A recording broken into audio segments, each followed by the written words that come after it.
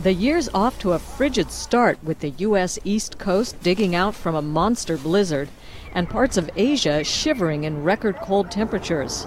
But last year, 2015 was the hottest year on record according to the United Nations World Meteorological Organization.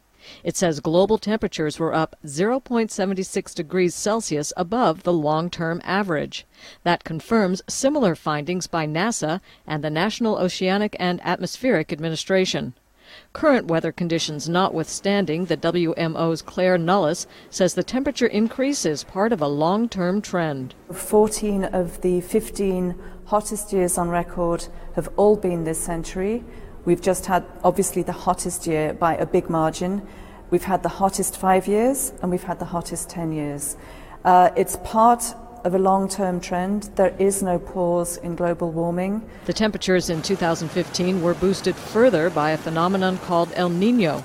Almost 190 nations agreed at a summit in Paris last month to take steps to shift from fossil fuels toward cleaner energies to limit warming.